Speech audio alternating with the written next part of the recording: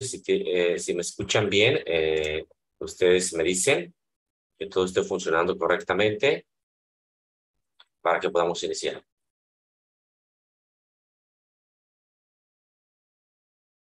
Ok, muy bien. Creo que todo está bien. Muy bien. Entonces, hoy vamos a estar eh, trabajando, como les dije en la miniatura, vamos a estar trabajando con el usos del to y del ing. Ok, vamos a ver eh, qué hacer eh, cuando tengamos que Vamos a ver qué es lo que podemos hacer cuando eh, tengamos que utilizarlos, estemos hablando inglés, ¿vale? Entonces, las estructuras que vamos a ver hoy son muy importantes, les van a servir mucho para que cuando ustedes hablen en inglés eh, no se traben tanto cuando tengan que hacer una elección de infinitivo o de gerundio. En eso vamos a estar trabajando en esta clase y también quiero, ah, eh, vamos a tener práctica como siempre, ¿vale? Entonces me voy a pasar de una vez acá este, uh, el material que vamos a trabajar en esta clase es el siguiente. Listo. Este es el material con el que vamos a trabajar y listo, perfecto. Muy bien, entonces, um, Bienvenidos todos. Welcome in. Welcome in. Happy Monday. Happy Monday, everybody. Uh, iniciamos entonces, ¿ok? Vamos a continuar con esa logística que llevamos de nuestro curso y vamos a ver entonces el día de hoy lo siguiente, infinitivos y gerundios. Primero quiero que ustedes identifiquen perfectamente lo siguiente. En el siguiente enunciado tenemos dos verbos, amigos. En el siguiente enunciado tenemos dos verbos. ¿Ok? Tenemos un verbo que es este que estoy subrayando y acá otro. Son dos verbos. Bien, la diferencia entre estos dos verbos es que uno está conjugado y el otro no está conjugado. ¿Cómo nos damos cuenta que un verbo no está conjugado? Bueno, porque está en infinitivo. Si se dan cuenta, aquí el verbo es comprar. Termina en R, termina en AR. Por eso es que sabemos que no está conjugado. En inglés, ¿cómo expresamos esto? I need to buy. El verbo que está conjugado lo vamos a poner con un pronombre o con el sujeto. Y el verbo que no está conjugado, el que está en infinitivo, en inglés le vamos a poner el to en la mayoría de los casos. Hoy vamos a estar abordando este tema. I need to buy. I need to buy a jacket. I need to buy a jacket. All right? So as you can see, it's pretty simple, but you need to pay attention to these things, okay? Pay attention to these things. Um,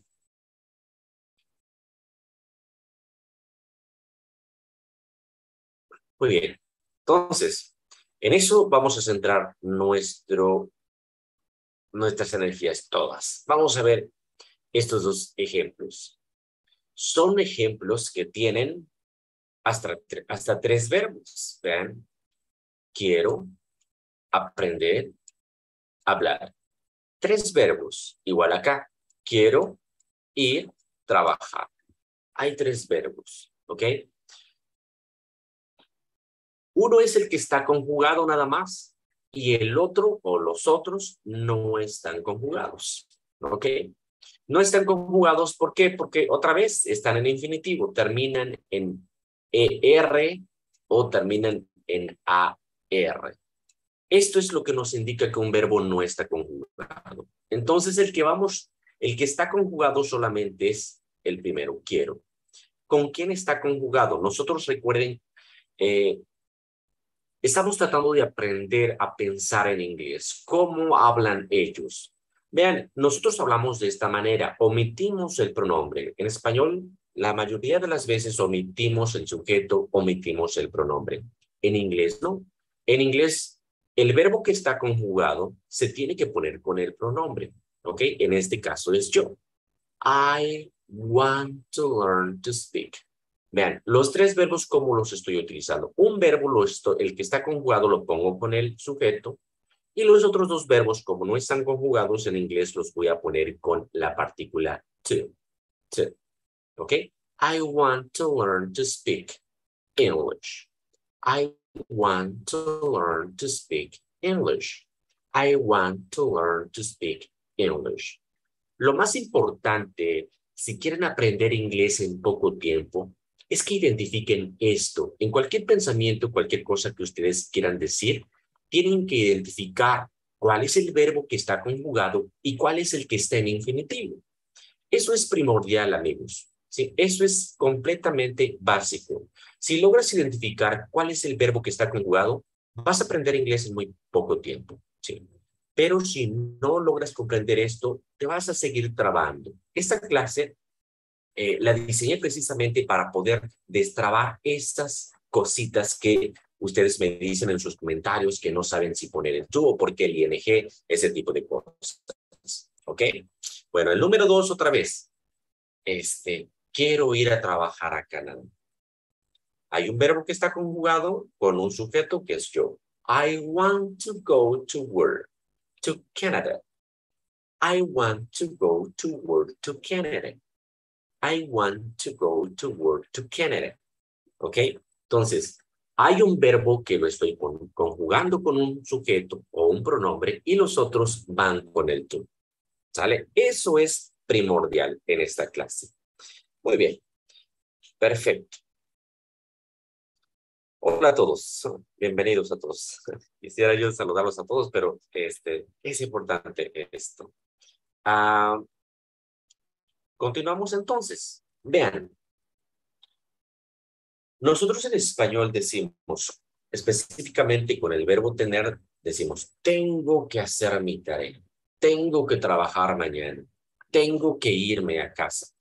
¿Sale? Le ponemos el que, ¿sale? le, ponemos el que este después del verbo tener. En inglés esto no existe. En inglés para decir esto no vas a ponerle el que. ¿sale? Lo único que tienes que hacer es, amigos, identificar el verbo que está conjugado y después el otro que no está conjugado lo pones con el tú y listo.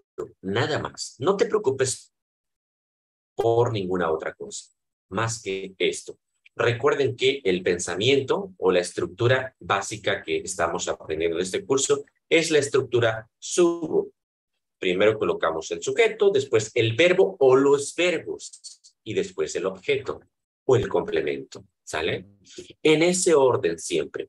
Ese orden es el que siguen las estructuras eh, o en este caso las categorías gramaticales. ¿Sale? Entonces aquí simplemente identificamos cuál es el verbo que está conjugado nos olvidamos del que y al otro verbo que no está conjugado porque termina en R, le ponemos el to. I have to do. I have to work. I have to go. All right? I have to do my homework. I have to do my homework. I have to work tomorrow. I have to go home. I have to go home. Okay? right? If you have any question, please let me know in your comments so you can have an answer, all right? Please, if you have any question, all right? I'm reading, I'm reading your comments. Right, very good, very, very good. Magda, excelente, bienvenida. Welcome in, welcome in. Perfect, very good. So as you can see, it's very simple. It's very, very simple. You just need to identify these two verbs and that's it. Okay? Just that. Okay? Piece of cake, right? Okay, piece of cake. All right. Um, vamos a ver. Si esto ya está quedando claro que es un verbo conjugado y un verbo no conjugado, vamos a hacer los siguientes ejercicios. A ver, ¿cómo dirían esto? ¿Cómo lo dirían? Solo traten de identificar cuál es el verbo conjugado y el otro verbo que no está conjugado seguramente está en infinitivo. Entonces, en inglés lo vamos a poner con el to. ¿Sale? Eso es, a ver, Estos son pensamientos, por eso yo les digo, si ustedes comprenden eso, después van a poder pensar en inglés y decir lo que quieran decir, comunicar lo que quieran comunicar. Estos son pensamientos que en algún momento los quieres comunicar en inglés. Ya los puedes hacer si me acabas de entender lo que te dije anteriormente. ¿Ok? Bueno, a ver. Give it a try, guys. Give it a try. ¿Ok? Inténtenlo. Intenten este, responder eso. ¿De qué manera dirían esto? All right? Try to speak this. ¿Ok? Try it, please. Give it a try, guys. How would you say in English, tengo que trabajar horas extras? How would you say in English, a él le gusta leer mucho? How would you say in English, quiero aprender inglés? Right? I want you to write it down so you can check this out. Mauricio, igualmente, saludos. ¿Ok? Entonces, vean, háganlo para que así sea esa práctica guiada, ¿sabe? Yo estoy leyendo sus comentarios y saludándolos por lo mientras, pero ustedes están trabajando en esto, ¿sale? Para que seamos eficientes en el tiempo. All right, Javier. All right, good. It's okay. Okay, Margarita, good. Good try.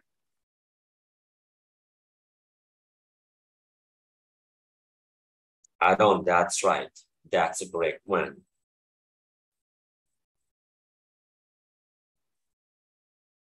Very good, guys. Very good.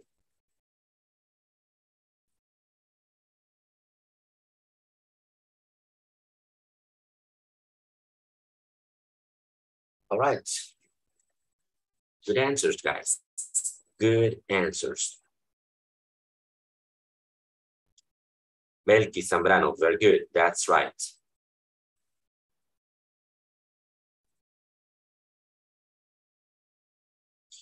You just need to identify these two verbs, all right?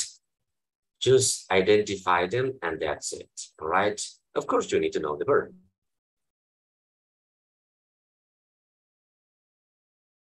All right. Well done. And Eddie's commercial, well done.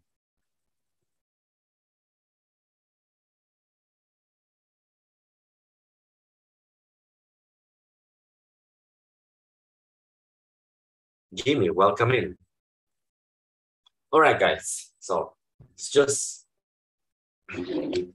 just the warm up, okay? All right. So um, how would you say this? How would you say this in English? All right. Uh, as I told you, you just need to identify these two verbs and write it down. Okay, examples. I have to work. I have to work. He likes to read. All right. Vean, aquí lo que estoy poniendo primero es ese orden de las categorías gramaticales. Recuerden que es subo, Sujeto, primero, todos ya tienen el sujeto. Después viene el verbo o los verbos. Aquí en este caso son dos verbos. Tienen que ir juntos. Sí, tienen que ir juntos. Y ya el objeto va al final o el público.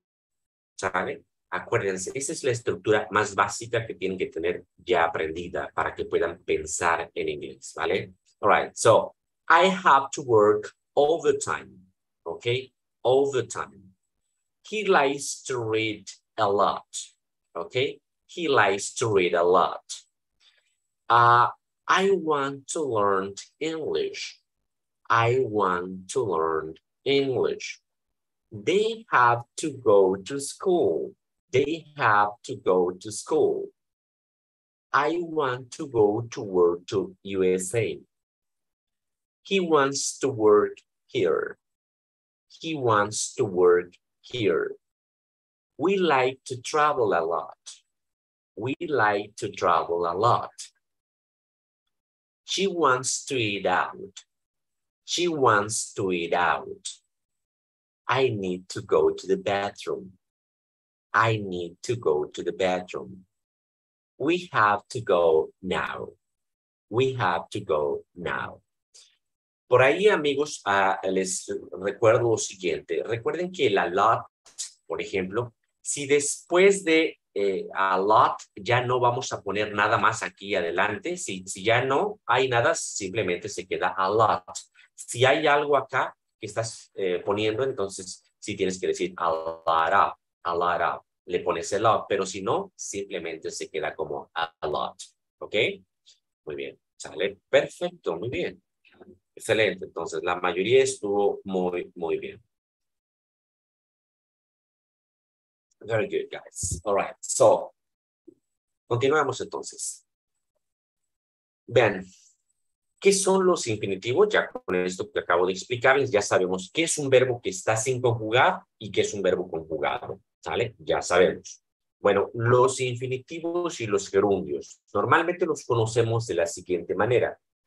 En español decimos que un infinitivo es un verbo que termina en R, ¿sí? o específicamente que tiene la terminación ar, la terminación er o la terminación ir, ¿vale? Yo siempre les digo, si termina en R, entonces es un infinitivo, ¿ok? Recuerden que muchas este, veces eh, luego los complementamos, o sea, ponemos decirme, por ejemplo, decirme, decirme, aparece con la palabra me juntos. Entonces, pero debes identificar el verbo que está en infinitivo, aunque tenga una terminación. Decirte, decirme, decirles, etc. Hay que identificar eso. Ahora, los gerundios normalmente los conocemos, incluso en español, que van a tener la terminación ando o la terminación yendo. Normalmente funciona de la siguiente manera. El infinitivo lo vamos a poner con el to en inglés y el gerundio lo vamos a poner con ing. All right? Example, infinitives. To work, to play, to paint, to read, to eat, to drink, to build, to say, to sleep. Working, playing, painting, reading, eating, drinking, building, saying, sleeping. Okay. Eso es lo más fácil, ¿sale? La diferenciar entre infinitivos y gerundios es fácil. Pero ahorita vamos a ver en qué debemos centrar nuestra atención. Y es en lo siguiente. Los gerundios, vean, la terminación ING la vamos a utilizar cuando estemos utilizando tiempos progresivos o tiempos continuos, como en estos ejemplos. Normalmente recuerden lo que les dije en la clase anterior, que es solamente, recuerden que si quieren hablar inglés en poco tiempo, vean la clase anterior de las clases en vivo, recuerden que es los cinco tiempos para hablar inglés en poco tiempo. Solamente centrense en esos cinco tiempos y es más que suficiente. Con eso después van a ir aprendiendo los demás, pero eh, con eso puedes decir lo que quieras. Ahora, ven, les dije en esa clase que los gerundios se, se van a construir con el verbo to be, ya sea presente, pasado, o futuro, pero se van a construir con el verbo to be y un verbo con ing. Examples. I am learning English. Present progressive. Okay, present progressive. I am right now learning English. My parents are living in Seattle right now. They are living in Seattle. My parents are living in Seattle. Anna is working in England. David was studying medicine. My friends were playing tennis. My friends were playing tennis. Tom will be living in China next year. Tom will be living in China next year. Tom has been living here for two years. All right. Those are progressive tenses. Progressive, okay? Progressive. Todos estos son tiempos progresivos, Ok. En un tiempo progresivo, a fuerza, por obligación, tienes que utilizar un verbo con ing, que es el gerundio. Se construye con el verbo to be más un verbo en gerundio o con ing, que es lo mismo, ¿ok? Bueno, aquí tienen entonces, como les decía, las terminaciones de los verbos en ing si pueden ver aquí, de translations son este ando yendo, terminación ando yendo, right? Muy bien, entonces, esto es lo más fácil de entender un gerundio para los que me decían que no, no sabían que era un gerundio. Bueno, un gerundio construye todos los eh, tiempos progresivos, todos los tiempos progresivos se construyen con verbo to be y un gerundio, ¿sale? Ahora, eh,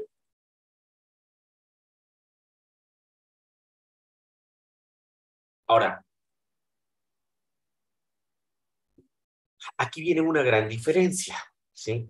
Y la vamos a ver a continuación. Y es esta. Aquí es donde muchas veces, eh, lo primero es muy básico, todos entendemos el infinitivo y el gerundio desde el punto de vista básico que les dije anterior. Pero en inglés, el gerundio cumple con otras funciones también, a diferencia de, acá del, del español, ¿verdad? Los verbos en gerundio pueden ser actividades, pueden ser sujetos, pueden ser traducidos incluso como un infinitivo, aunque tenga ing. Y ahí es donde muchos de ustedes dicen que no comprenden. Ahorita les voy a explicar el por qué. Vean, cuando te encuentres un verbo que si tiene el to significa que está en infinitivo, por supuesto. Y si tiene la terminación ing y antes no tiene el verbo to be, eso significa entonces que también se trata de un infinitivo. También lo tienes que traducir al español como un infinitivo, ¿sale? Dependiendo del contexto, pero te voy a dar las claves. Son las siguientes. Las reglas, son tres reglas nada más del ing como infinitivo, ¿sale? No como gerundio. Bueno, sí en inglés, pero en español lo tienes que traducir como infinitivo, como estos ejemplos. I want you to pay attention to these sentences, guys. Pay attention. Focus on these sentences. Listen, eating fruits and vegetables is healthy. Eating fruits and vegetables is healthy. Smoking is prohibited in the building. Smoking is prohibited in the building. Living in a city is stressful. Living in a city is stressful. Swimming is good for your back. Swimming is good for your back. Swimming is good for your back. Muy bien. ¿Qué es lo que ven en común? Es un verbo con ing que está al principio de el enunciado. Eso significa que es, está haciendo la función del, del sujeto del enunciado. Por lo tanto, no vayas, no traduzcan este tipo de eh, oraciones como gerundio, o sea, no, no, con la terminación ando o con la terminación yendo. En español los tienes que traducir como infinitivo de la siguiente manera. Vean, comer frutas y verduras. Vean, estoy traduciendo estas, estos verbos con ing como infinitivos en español. ¿Sale? Entonces, aquí la clave es, la siguiente. Cuando en inglés vas a, a decir algo y lo que vas a decir inicia con un verbo, ese verbo lo pones con ing y se traduce como infinitivo. ¿Sale? Esa es la regla. En inglés, en eso es diferente al español. Se utiliza el gerundio como sujeto del enunciado, pero en español lo debes traducir no como gerundio.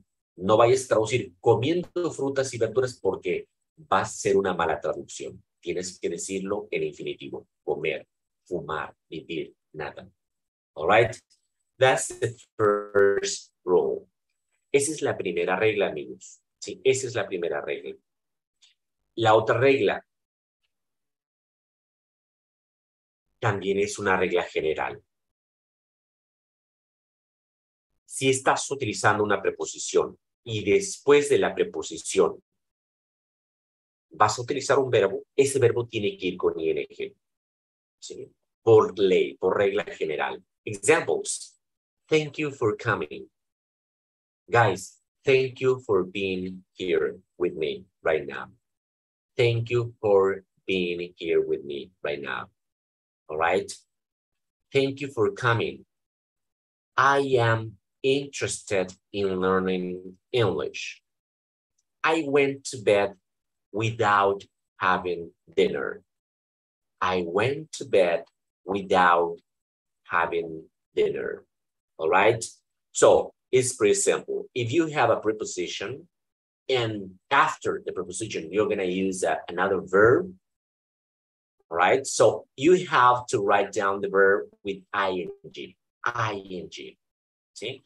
Entonces, si hay una preposición y después un verbo, ese verbo va con ing, pero no lo vas a traducir como gerundio, sino como infinitivo.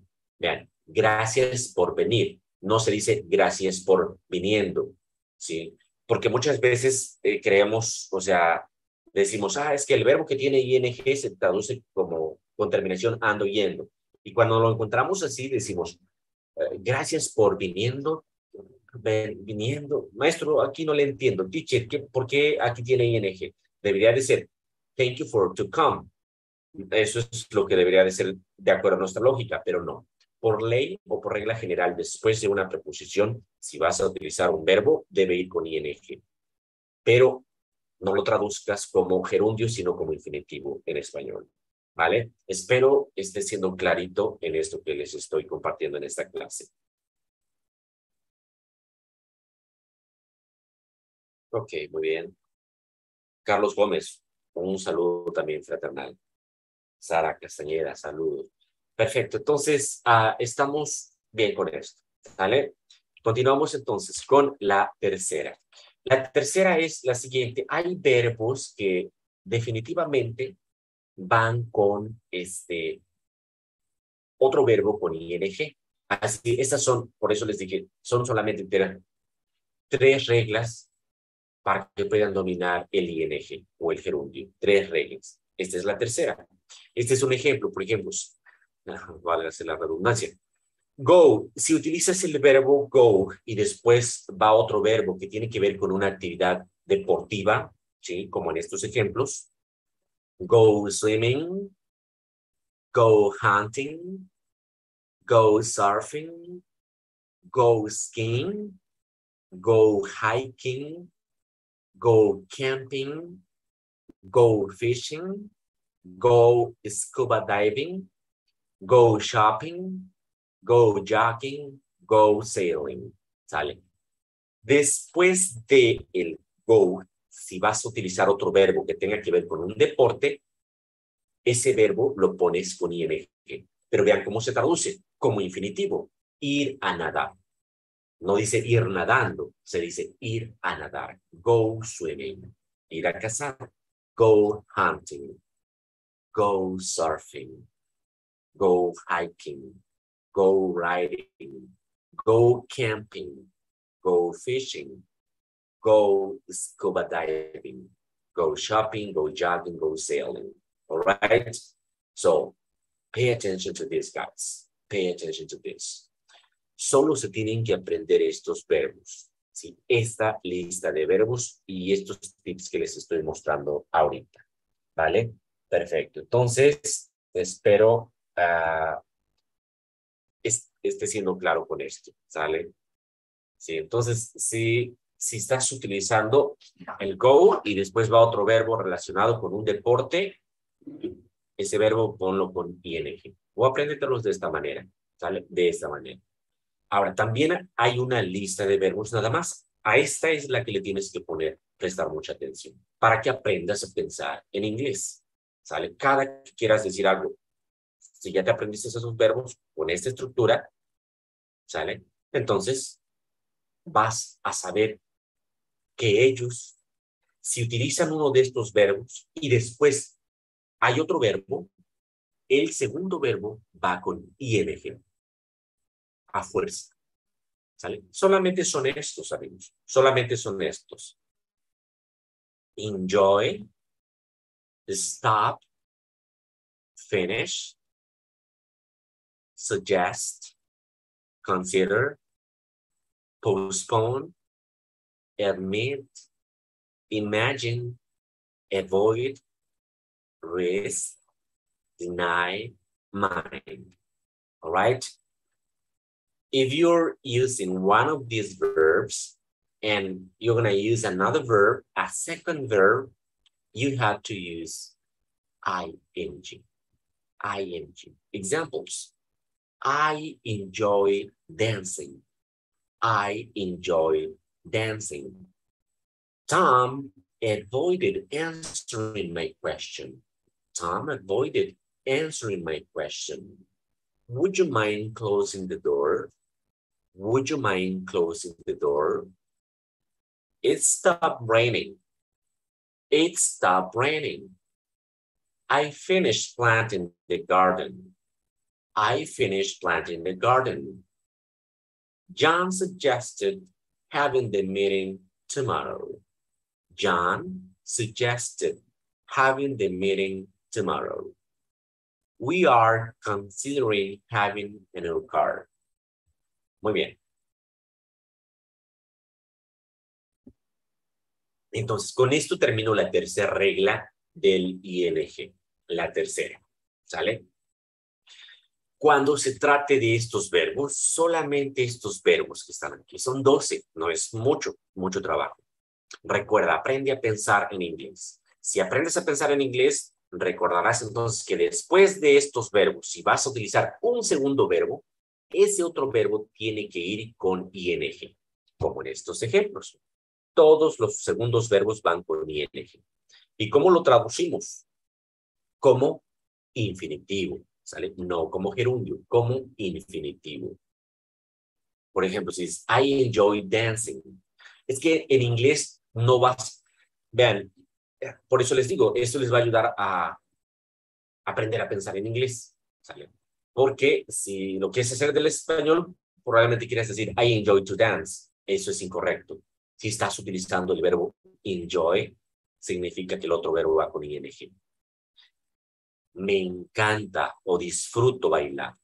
Así lo traducimos como infinitivo. Muy bien. Vean, paró de llover o dejó de llover, no quieras traducir. ¿Sale?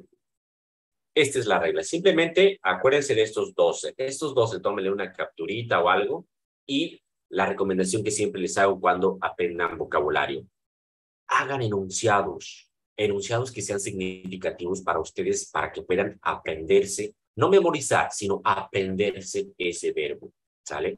Hagan enunciados significativos, ¿vale? Muy bien, amigos. Perfecto. Entonces, este...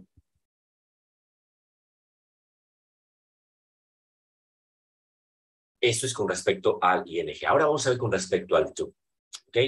Con respecto al tú también hay tres cositas que quiero compartirles y son estas. Cuando tengamos alguna palabra interrogativa, examples, uh, if you have a question, if you have a question word like what, who, which, when, where, how much, how many. Si después hay otro verbo, ese verbo va con el to. Okay? I don't know what to do. I don't know what to do. Tell me how to get to the police station. Tell me how to get to the police station. I don't know where to go. I don't know where to go. I don't know how much to buy. I don't know how much to buy. Esa es una reglita también que va a ser muy útil para ti. Si tienes una palabra interrogativa y después vas a utilizar un verbo, ese verbo lo pones con el to. ¿Ok? Muy bien. Eugenia de Marco, es, esos verbos son excepciones. ¿A qué te refieres, amiga?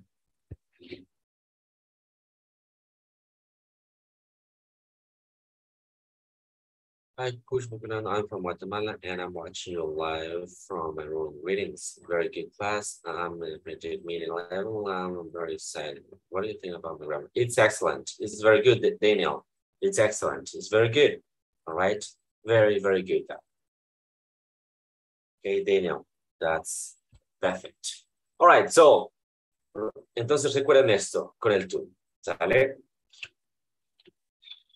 Y bueno, Otra cosa que tienen que recordar es la siguiente, amigos. Uh, después de un verbo modal, ¿sí? después de un verbo modal, esto también es una, son reglas generales, que nada más te las tengo que decir unos, una sola vez y van a aplicar todo el tiempo en inglés. Son reglas universales, ¿sí?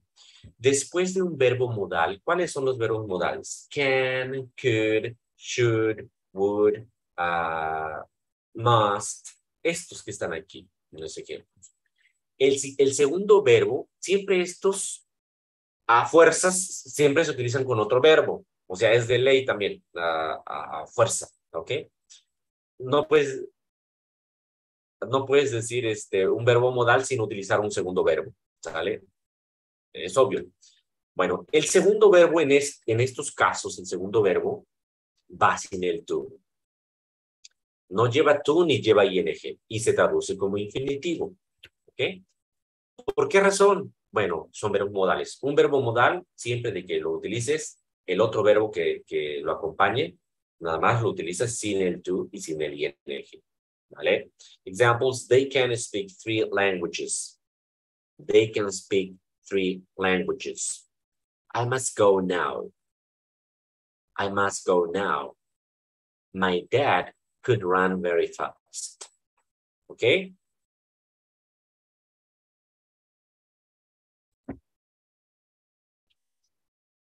Muy bien. Perfecto, entonces. Continuamos. Ok, pues ya sabemos entonces que eh, los infinitivos con tú son muchos más, o sea, por eso es la gran mayoría, ¿sale? Los verbos que van con el ing, ya dijimos que son 12. Ya después, los que van con el tú, pues son la gran mayoría de verbos, como te voy a poner aquí estos ejemplos. All right?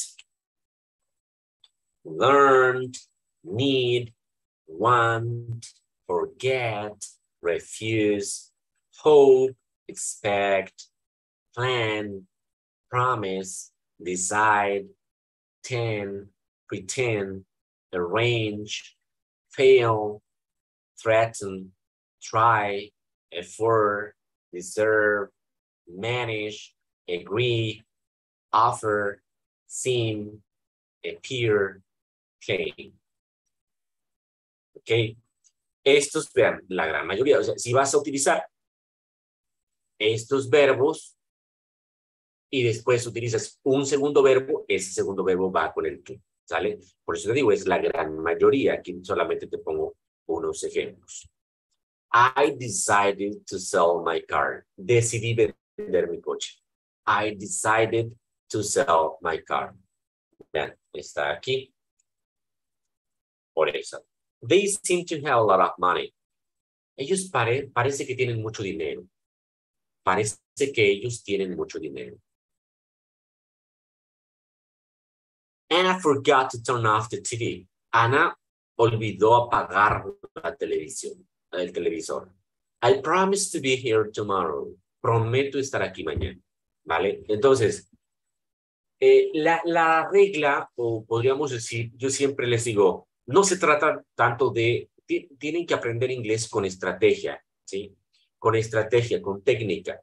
No se trata, eh, les digo, la gran mayoría de verbos si los utilizas en compañía con otro verbo, el otro verbo va a ir con el tú, la gran mayoría, excepto estos 12 que van con ing, ¿sale? Excepto los 12 que van con ing. Por eso les digo, nada más, centren entonces su atención en las excepciones, como me está diciendo aquí una amiga. Este, ah, ok, uh, Eugenia, como me estaba diciendo. Y con eso, nada más. Morelva, nuevamente, muchísimas gracias. Gracias de veras por todo el apoyo a clase con clase. este, por todo el apoyo que le das a, mi canal. Muchísimas gracias. Dios te bendiga, multiplique todo esto. Sí, gracias.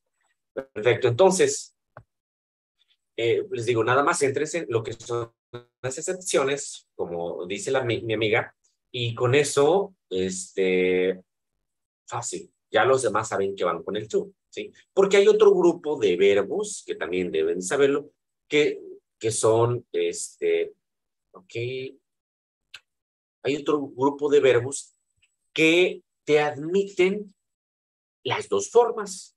¿sí? Hay otro grupo de verbos que te admiten las dos formas. Es decir, que el segundo verbo vaya con el to o que vaya con este, terminación ing, ing. ¿Ok?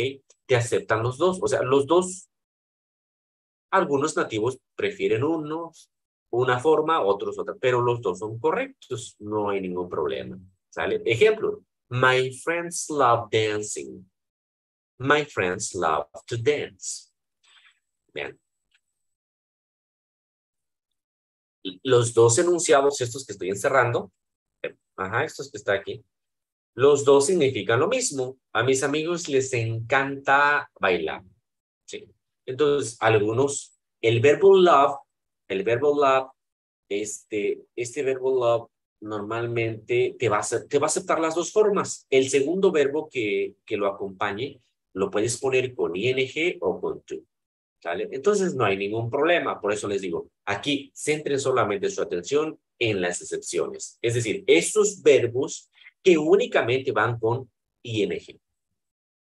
Esos verbos que si llevan otro acompañante, otro verbo, tiene que ir con ing. Nada más en eso son 12, esos que les mostré y vean. Ya los demás, pues si, si te los quieres aprender para hacer, pero bueno, con cualquiera de las dos formas funcionan.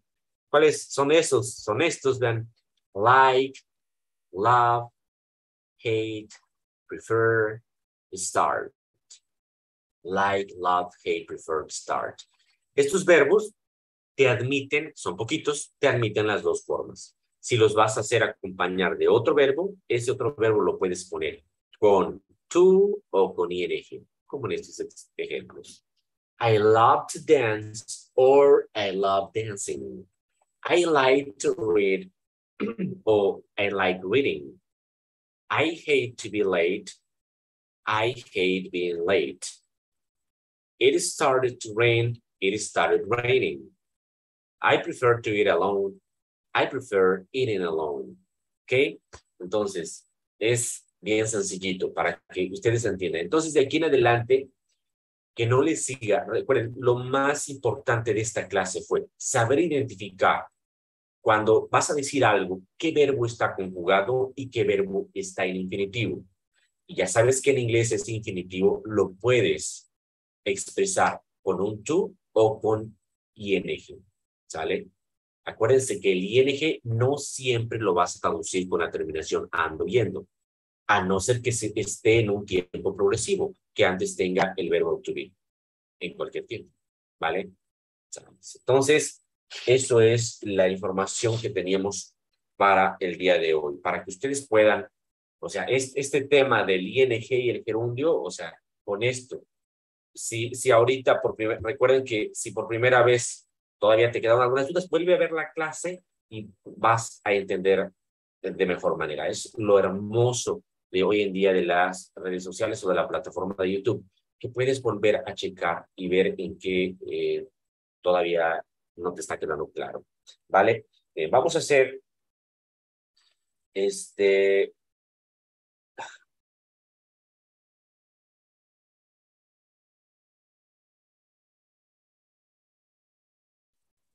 Elena Ruiz, las clases atrasadas, nada más te vas a mi canal, se van a mi canal, eh, Teacher Bocarando, Teacher de, de, maestro y Bocarando mi apellido. Te, te, vas a mi canal, ¿sí? y, este, y ahí te vas a clases en vivo. A la pestañita de arriba buscas clases en vivo y ahí te van a aparecer todas las que vamos en este curso básico. ¿sí? Todas las clases en vivo que hemos tenido en este curso básico. Y los módulos es como un resumen de las clases en vivo. ¿Sale? En, la clase, en las clases en vivo tenemos retroalimentación, así como ahorita. Si tienen alguna duda, me la hacen. Esa es la diferencia con los módulos. Los módulos tienen todo este, bien comprimido, toda la información que les doy. Vale, correcto, entonces. Vamos a hacer una pequeña práctica ya para irnos, porque ya están bien cansados, ya, este, ya está decidido. A ver, en estos espacios, ¿qué es lo que pondrían? ¿El verbo con tú o con ing? Eso es lo único. A ver, no los numeré, pero pues más o menos vayan ustedes poniendo cómo, de qué manera lo harían. A ver, para, para que cerremos con broche de oro esta clase. Lilia Pérez. Thank you so much. I do appreciate it too.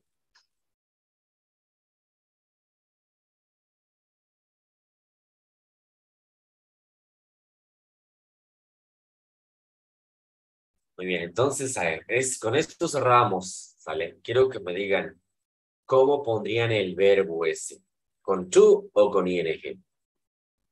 I drove, I drove for 200 miles without to stop or stopping. Two options. How about to go for a walk or going for a walk? I have been to live or living in Seattle for five years. Please remember to lock the door or lock in the door when you go out. He denied them to steal the money or stealing the money.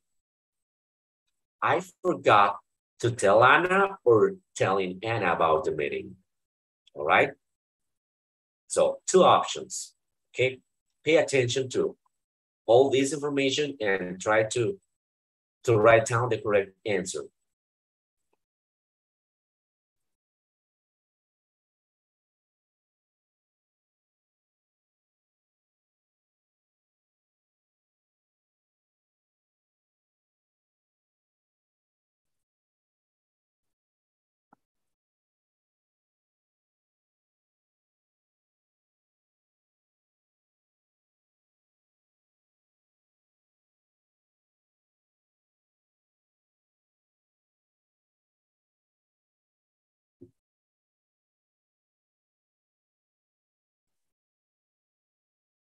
Recuerden siempre, cuando tengamos ejercicios de este tipo, a veces yo por no prolongar más el, video, este, pues les doy luego las respuestas, pero ustedes cuando lo estén haciendo con calma, pueden pausar el video y hacerlo ustedes. A ver, aquí, ¿qué pondría yo? ¿Qué pondría acá? Y ya después revisan, ¿sale? Después revisan.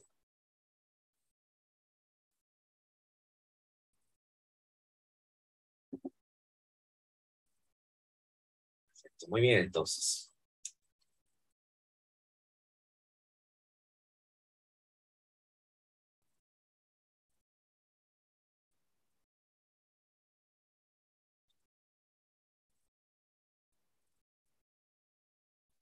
Muy bien, entonces cuando vuelvan a hacer esta clase la pueden pausar o, incluso ahorita mismo lo, lo, pueden pausar.